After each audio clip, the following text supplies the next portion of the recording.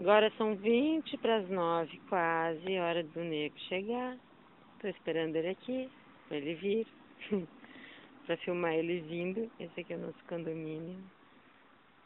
Tudo parado. Daqui a pouco ele chega. 9 horas da noite, quase, tá tudo claro ainda.